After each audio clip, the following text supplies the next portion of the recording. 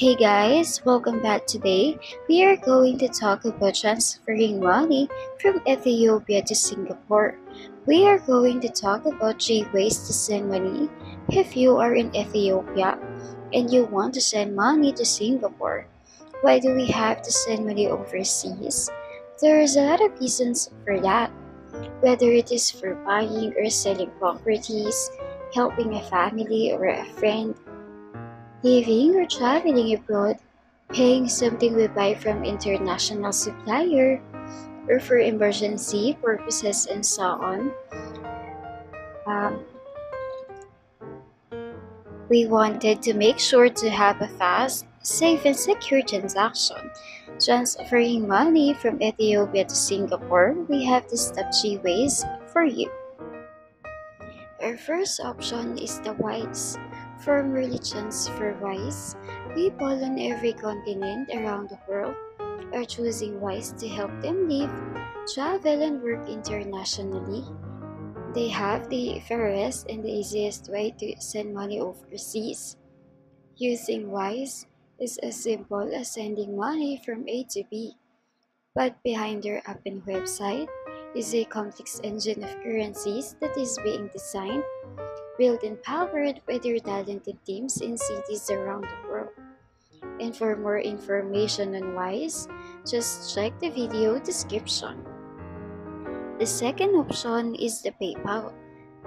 This is an online payment system that makes paying for things online and sending or receiving money safe and secure. When you link your bank account, your credit card or debit card to your PayPal account. You can use PayPal to make purchases online with participating stores.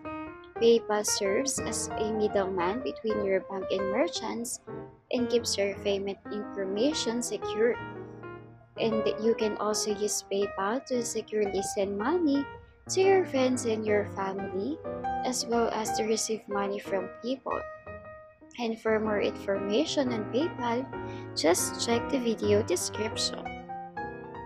The third option is the XE Money Transfer. This is an online money transfer company that offers a cheaper and faster way to send money internationally. And as a trusted and seasoned name in foreign exchange, they could be a good option for your international money transfer. Founded in 1993, they have been dealing in foreign exchange for a long time. The fact that they don't charge transfer fees or have a minimum transfer amount make them quite attractive. And to know more about XE Money Transfer, just check the video description.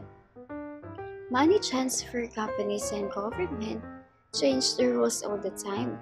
So if one of these services are not available anymore, or if you know another reliable way to send money abroad, make sure to leave us a comment and let the rest of us know. And if this video is helpful, don't forget to hit the like button and subscribe. Thank you for watching.